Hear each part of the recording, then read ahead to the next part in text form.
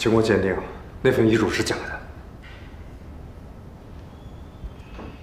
我们太大意了，根本就没有核对遗嘱上的笔记，就急着去施工所办理相关的手续。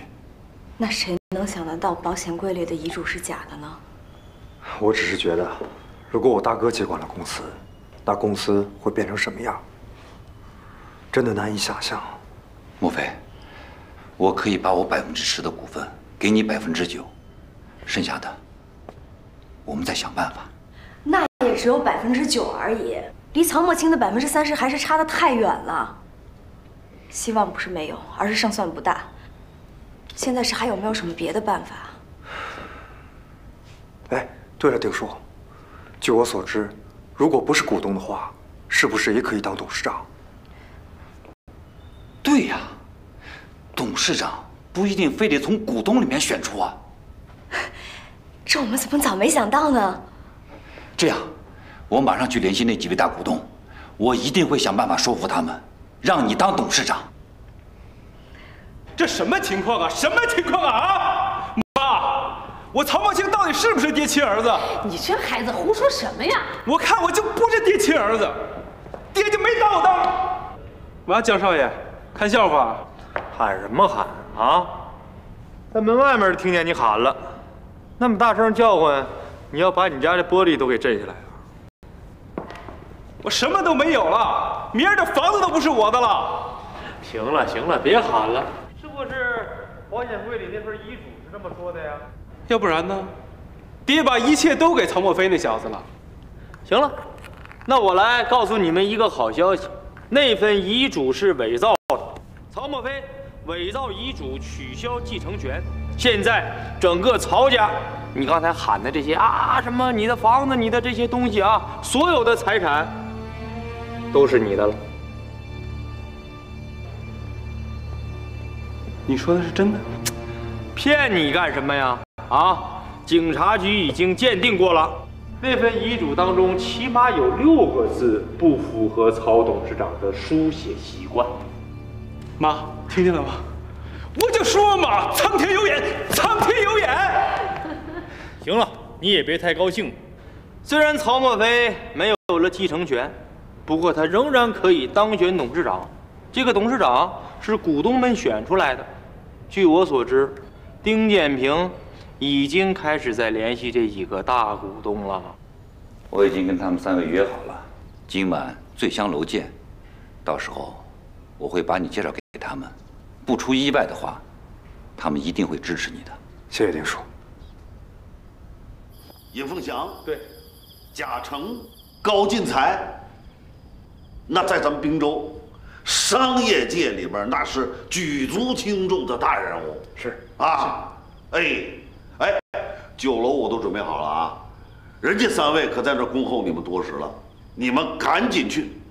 大少爷能不能当上董事长，就全仰仗人三位了。啊，大人，哎，谢谢。哎，谢什么呀？走吧，走吧。好好好好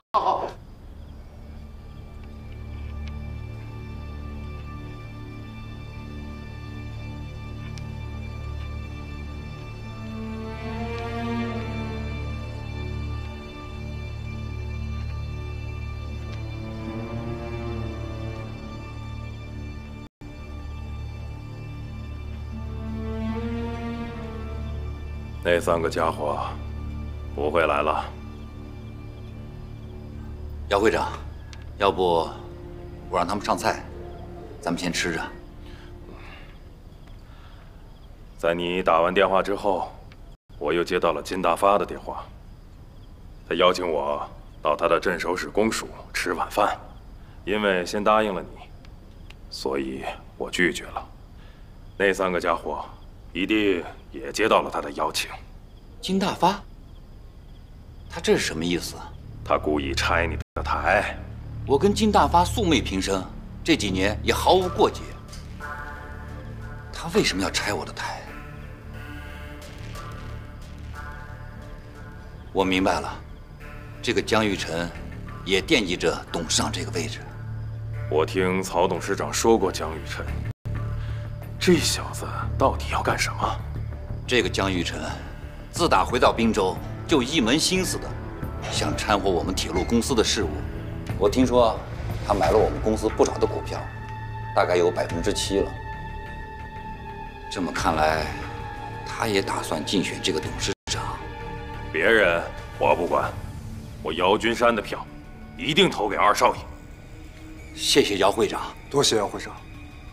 今天的饭我就不吃了，有什么事到家里找我。那好，莫非，你们再坐会儿，我送送姚会长。姚会长，多谢。姚会长，这边请。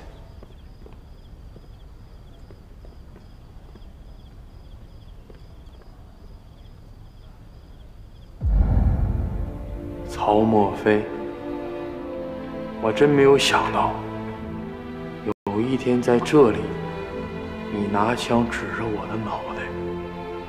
我也没有想到，有的人为了达到目的，可以出卖朋友，还可以跟日本人勾结，做起了汉奸。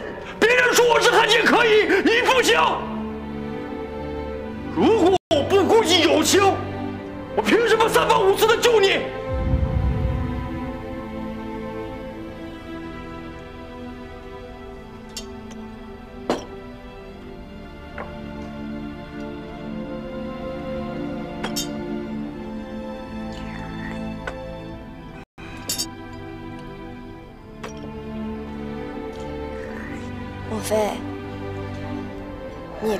担心了，毕竟他们三个都是精明的生意人，也不一定会听江雨晨的。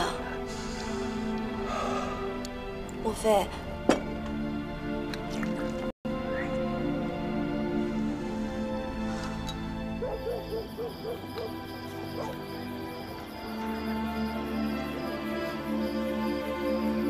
美云，对不起。送我戒指的人桃子，你是我最好的朋友。上次你问我，如果没有了墨菲会怎么样？我现在告诉你，会死。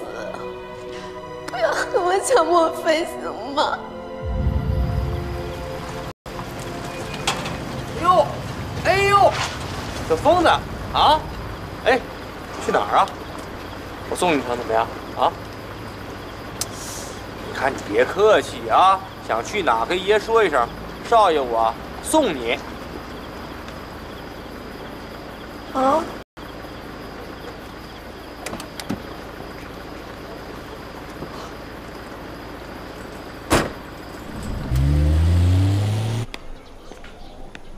站着。看见我就这个态度，你怎么还有脸在这个家待着？啊，小杂种！小杂种！哎哎哎！哎哎！松手！莫青，松手啊！你怎么打人呢你啊？他是你哥，这跟你闹着玩，你怎么还真动手啊？妈，别理他，反正跟咱们家没有关系。带着你娘给我滚蛋！莫青，你这就不对了。他娘还病着呢，你就这么着急赶人家走？传出去会说定邦不在了，我们欺负他娘俩呢。你说什么？我妈病了。哎，赶紧带着你娘离开曹家，我们曹家。妈，妈，怎么病成这样？快坐。妈，你喝点水。妈，你喝点水。妈不喝。妈，对不起，我昨天喝了点酒，都没能来看您，没把您照顾好，又让您担心。儿子不孝。妈知道你做着很多的事情，妈不怪你。为国家修铁路，是你爹一辈子的愿望。他也把所有的心血都放在了这件事情上，妈一直都支持他。对于家产，我不在乎，可是这个，坚决不能让。要是你大哥有这个能力的话，妈也会全力的去支持他。可是咱们都清楚，你大哥担不起这个担子，所以莫非所有的责任妈知道，妈不该说这些。妈也知道，你知道该怎么做，但是答应妈两个条件。啊，您说什么条件我都答应你。第一，无论遇到任何的事情，不能做伤天害理的事。第二，你要保护好你自己。你从小就拗，可是世事难料，尽力就好。嗯妈，您说的这些，我都答应您。爹的嘱托，我也不会忘记。爹交代我，让我管理好铁路公司，为咱们国家多修几条铁路，我一定会做到，不让我爹失望。你爹要是在，听到你说的这些话，他一定会感到欣慰的。你也没白辜负你爹这么多年对你的栽培。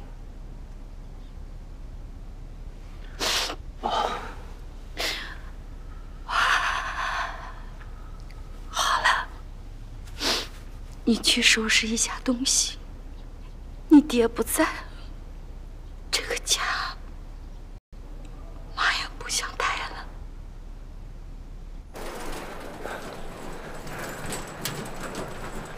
就这。哎，到了。哈，回来我来。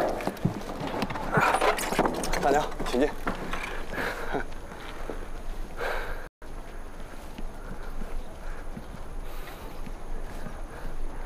大娘，这里就是我的家了。大娘，回头你住这，这个屋啊，以前是我妈住的，她去世以后啊，就没人住了，我也没来得及收拾，您可别嫌弃啊。这说的是哪儿的话呀？在这个时候能帮我们一把的，我们娘俩已经很感激了。哎呀，大娘，您太见外了，我和飞哥像亲兄弟一样，以后啊，您就把这里当做您的家，咱们一家三口好好过日子。谢老兄弟。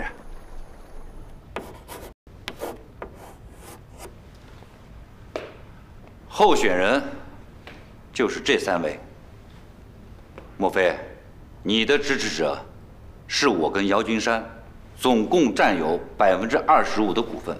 曹墨清虽然是孤家寡人，但他拥有百分之三十的股份。江玉成除了他自己那百分之七的股份之外，加上尹凤祥、高进才和贾成，他的股份。将达到百分之三十七，但是，如果尹凤祥、高进才、贾成这三位中的任何一位拉过来，那我们的股份将达到百分之三十五。好，丁叔，那我们现在就去一一拜访他们。好。至于曹家两兄弟之间的纷争，我并不是特别关心。可现在。不是江玉成要当董事长吗？他是在帮曹墨清啊。什么？是曹墨清？对啊，曹墨清是长子，这个董事长的职位理应由他来继承啊。所以我也劝你们，就不要再争了吧。尹老板，曹墨清不务正业，他不但不懂技术。而且根本不懂公司的管理，把公司交给他，这公司可就完了。尹老板，我爹生前对我说过，铁路是国家的希望，把国家的希望交托在一个整天只会吃喝玩乐的人身上，那岂不是儿戏吗？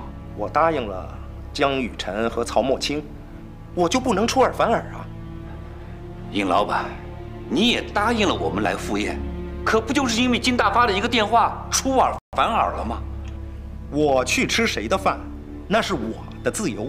我答应了你，我不一定非要去啊。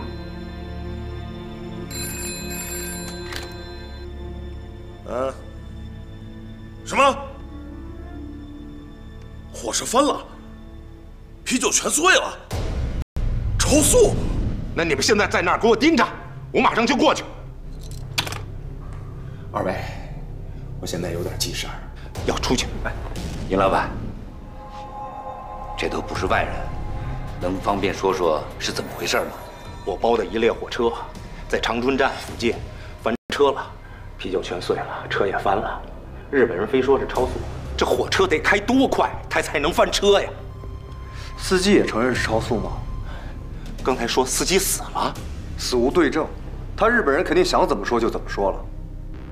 您知道脱轨的具体位置是在哪儿吗？说是再拐一个弯就进站了。据我了解，长春站附近的转弯半径是三百多米，火车时速得超过八十公里每小时以上才有可能脱轨。可是，在东北，我们的货车最快也就开不到六十公里每小时，所以，在这样的转弯处，并且是在进站的时候，火车是不可能脱轨的。只要在现场找到确凿的证据。他日本人休想抵赖。哎，那我能不能拜托二位，帮我去现场看看，到底是怎么回事？您放心，我们绝不会让日本人欺负我们自己的同胞。如果二位这次能帮我讨回这个公道，我，我投二少爷一票。尹老板，一言为定。一言为定。高田君，长春那边传来消息，说是火车翻了，所有啤酒都碎了。无能，愚蠢，成事不足，败事有余。欢迎。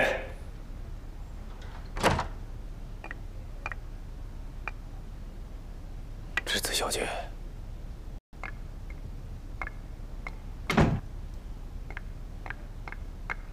高田君，我有事要和您单独聊聊。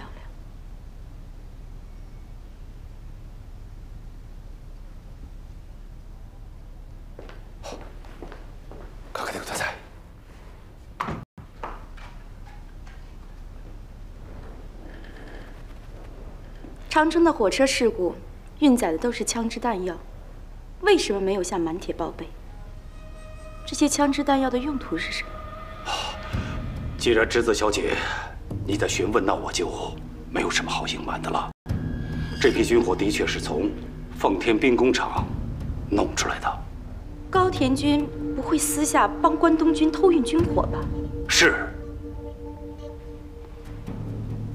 关东军原本只是维持关东州及南满铁路附属地的利益，但现在占领东三省。才是关东军的最终目标。可是，日本的资源贫瘠，无法满足关东军要扩张的武器装备。正好，大帅的奉天兵工厂研究出来了一种新型的合金，无论从质量还是化学物理性质，都已经远远超过了德国的原产钢材，成本也只有原产的三分之一。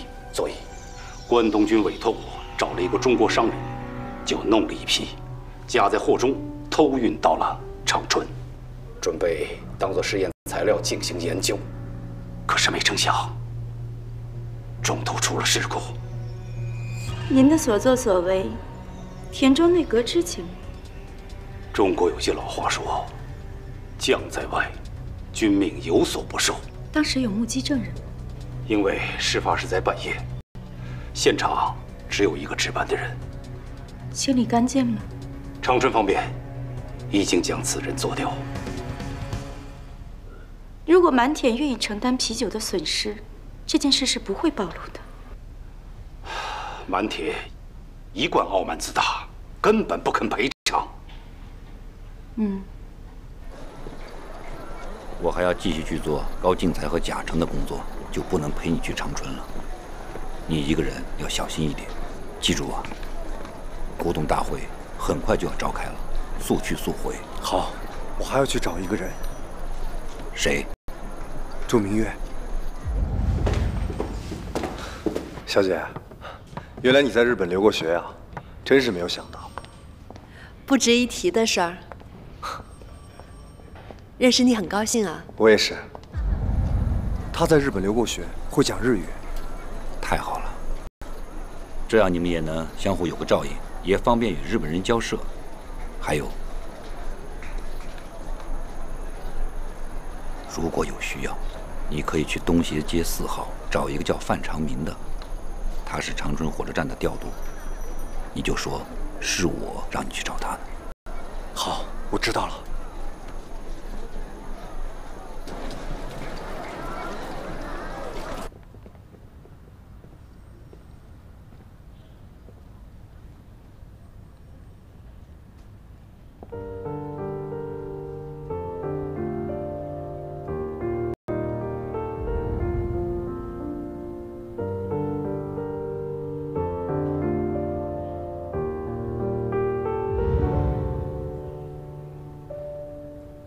朱小姐，你好。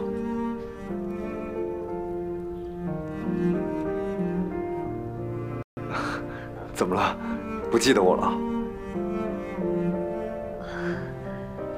没有，我只是没想到你会来我这儿。其实我也没想到，但在我身边，既精通日语，我又可以信赖的人，只有你，所以冒昧的过来你需要我为你做什么？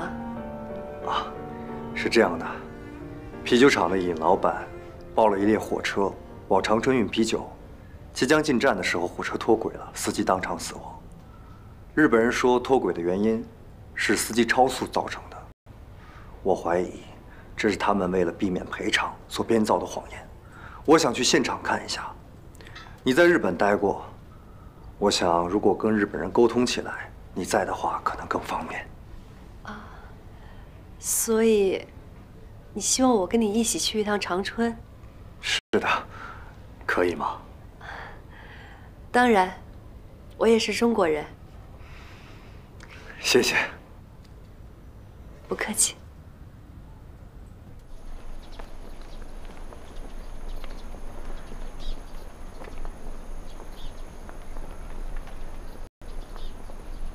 桃子，是不是从莫非回来你就再也没有见过他了？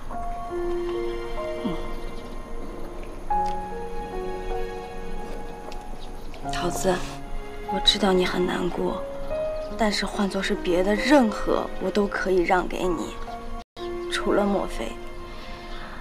不知道为什么，我就像对他着魔了一样。我从见他的第一眼起，我就着魔了。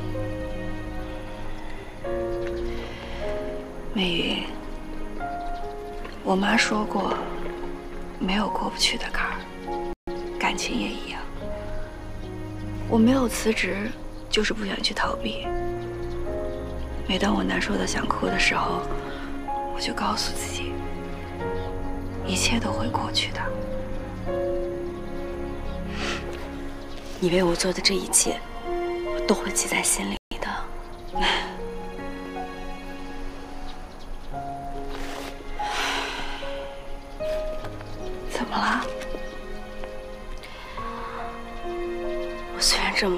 菲，但是现在出了这么大的事情，我却什么都帮不上忙。有的时候我真的特别恨我自己。出了什么事儿啊？他伪造遗嘱，已经被取消继承权了。伪造遗嘱？他为什么那么做呀？他不可能傻到做这种事情的。他当然不会这么做。是被曹慕青陷害的，那那他当不成董事长了？这个现在还很难说。江雨晨也想当董事长，并且拉拢了三大股东。如果莫非还想当选，就必须得把这三大股东拉回来。他跟丁总工已经出去一整天了，到现在还没有消息，真是急死人了。我看这事儿很难了。疯了吧，江玉成他凭什么当董事长啊？现在怎么办呀？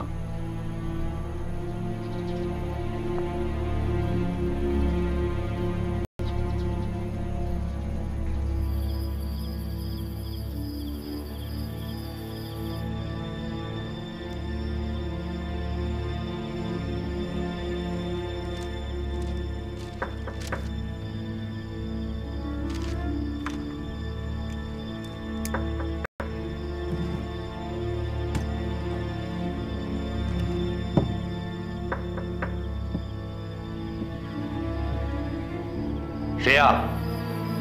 是我，李显达。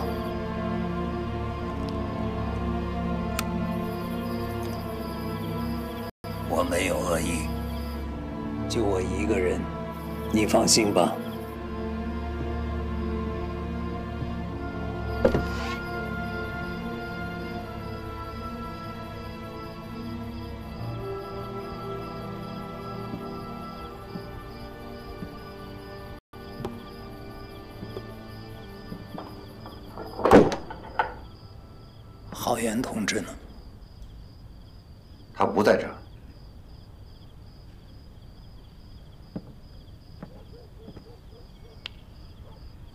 飞目前在哪儿啊？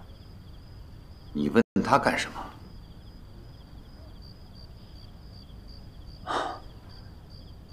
我没别的意思，只想帮帮他。我们继续合作吧。你还在打冰西铁路的主意？这条铁路非常重要，不能落在别人的手里。我是不会跟你们合作的。我和他们不一样，你放心，只要有我在，并州就不会发生清党这种事儿。我凭什么相信你？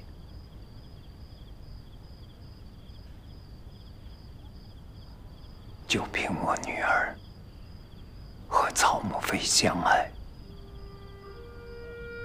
你女儿？蟠桃就是我女儿。我的真实姓名叫潘慧昭。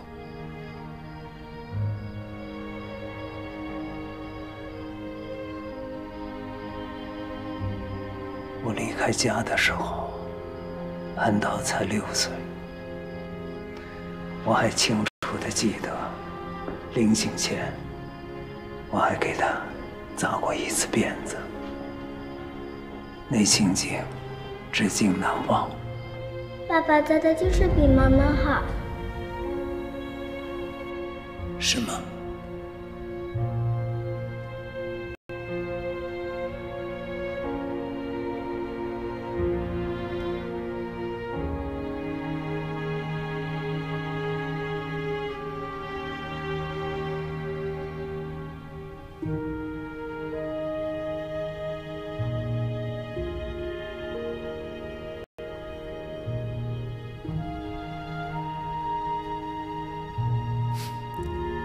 桃子，以后咱们自己学着扎辫子好吗？不是有爸爸在吗？为什么要自己扎？如果有一天爸爸不在了，不就没人给你扎辫子了吗？我不要爸爸离开，蟠桃要爸爸扎一辈子的头发。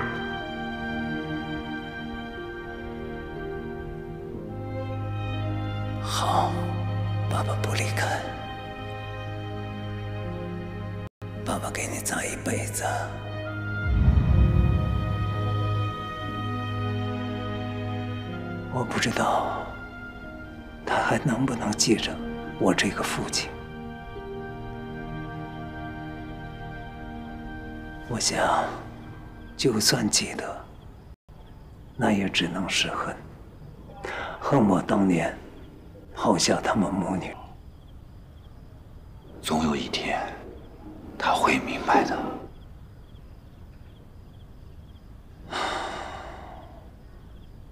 起初，我还偶尔给家里写封信，后来做了地下工作，就不能随便给他们写信了，怕连累他们，就断绝了联系。这次回到滨州，做的还是地下工作。上级要求我不能暴露身份，希望你帮我保守这个秘密。你放心，这点组织纪律性我还是有的。虽然我没有过与亲生骨肉咫尺天涯的感觉，但我知道那是一种巨大的痛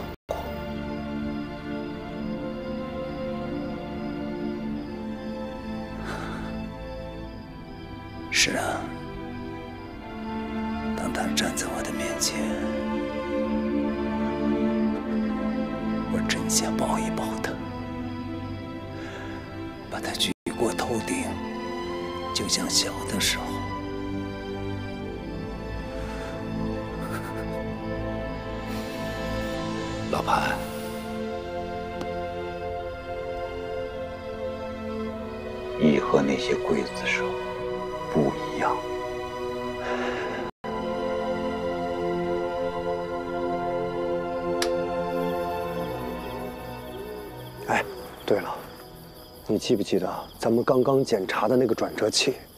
那个转折器分明是个新的。对，转折器上面写着一个日文名字：日本尼洛克斯制造所。这家公司是专门生产铁路配件的，而这个公司刚刚成立才不到两年，这说明什么呢？两年，那说明这台转折器是在火车脱轨事故发生以后临时换上去的。这样来看，火车脱轨的真正原因。就是转折器失灵造成的，满铁检修不当，这是要负全部责任的。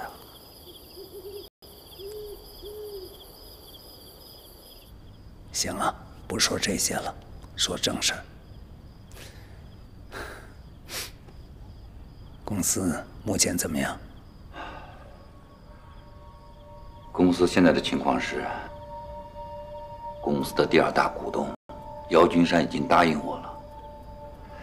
还有三位大股东，尹凤祥、高进才和贾成。其中尹凤祥包的火车，在长春站附近脱轨了，满田不愿意承担责任。我已经让曹墨飞去调查了，如果能够圆满解决此事，尹凤祥就会支持我们。好，高进才我也见了，只是他提出，等滨西铁路建成后。给他运输的货物要优惠百分之三十，那你答应他了吗？还没有，我想等曹墨飞回来以后跟他商量一下，再回复他。不，你明天就代表曹墨飞和他私下签一个合同，答应他所有的条件。万一传出去了，会影响整个公司的运营。离股东大会的召开只有两天。这是缓兵之计，先把公司拿到手，然后再用几年的时间对付他。有道理。那个贾成呢？嗨，就这小子最难缠。我登门拜访，他们家大门口待到天黑，他就是不见我。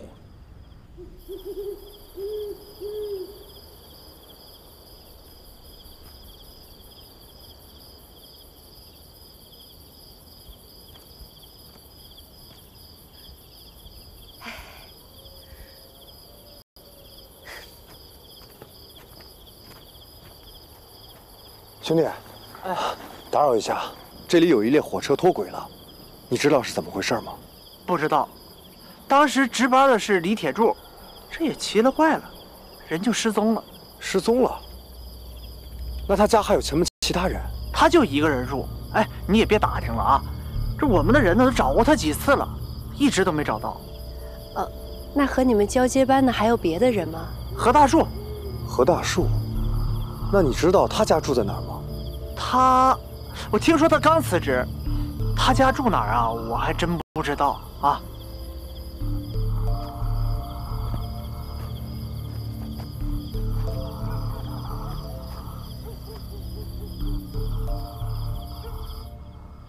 按理说做他的工作应该不难问题是为什么不见你呢？贾成不愿意掺和公司复杂的人事他坚持谁的股份多谁是长子他就选谁。那就从他的父亲入手。自从生意交给贾成后，贾老基本上已经不再过问买卖上的事情。只是偶尔去看一看。这么说来，倒是个问题呀。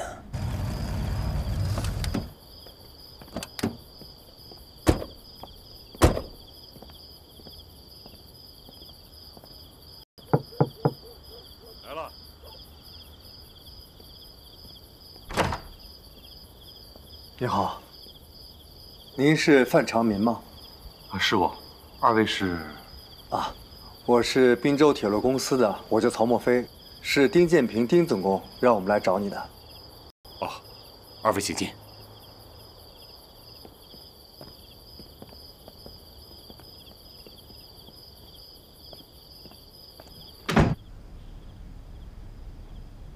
他叫何大树，是满铁长春站的扳道工。我所知道的就这么多。您能不能帮我用最短的时间替我找到他？这没问题。呃，不过今天太晚了，最早也得等到明天车站上了班，我才能去查呀。可以。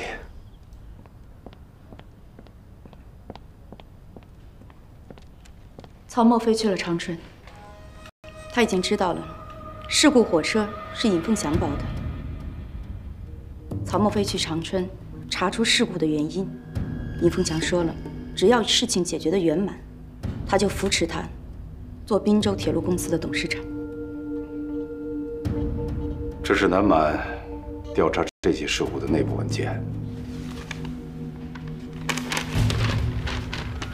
事故的原因已经调查清楚了，是转折起事令。现场处理的再干净也没有用，是瞒不过曹墨飞这种专业人士的。为今之计。只有阻止他，找到证据。事情关系到我们运去的那批枪械，绝不能公之于众啊！安全起见，我要亲自去一趟长春。那就有劳智子小姐了。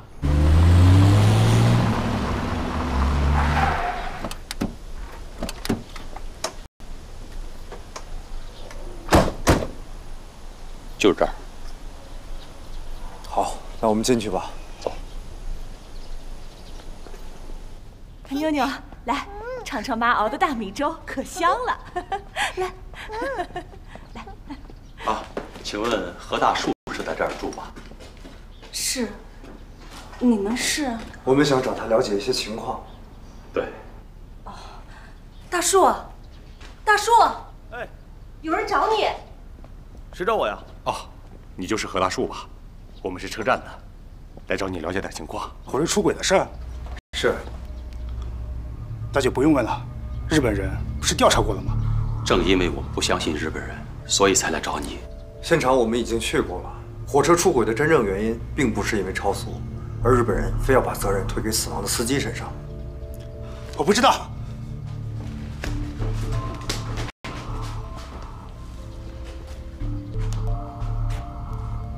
大叔，咱们可都是中国人。咱不能让自己的同胞死了之后再蒙受不白之冤呐，你说是吧？可是我，我真的什么都不知道。那天我和李铁柱交完班后就离开了，之后发生了什么，我是一概不知。那你为什么这么紧张呢？就是啊，还是说你看到了什么，突然想不起来了？你别着急，好好想想，我们可以帮助你。不是我，我什么都没看见，这事跟我没有任何关系。那你为什么突然辞职？我，哦，我本来就有辞职打算，不想再给日本人做事了，准备带老婆孩子回乡种地。李铁柱失踪了，你知道吗？知道，早上辞职的时候听说了。那你没有想过，好端端的一个人为什么突然失踪了？怕担责任，跑了呗。你就没有想过，他的失踪跟日本人有关吗？大叔，你看，孩子正瞪着大眼睛看着我们呢，他不会因为你丢了差事而瞧不起你。可是，如果你连说真话的勇气都没有，说不好听的，你都不配给他做父亲。你们到底想让我说什么？我不知道，我什么都不知道。哎，哎大叔，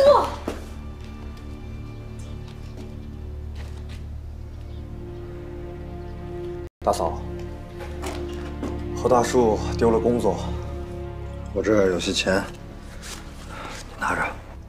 不我不能要，拿着吧。是啊，大嫂，你就别客气了。这年头，谁家过日子都不容易。就说那个死了的火车司机，他这一走，丢下五个孩子，这孤儿寡母的，这日子还不知道怎么过呢。好了，不说这些了。我看你们家大树身子骨还结实，如果他不嫌弃，就让他到车站上来做个装卸工吧。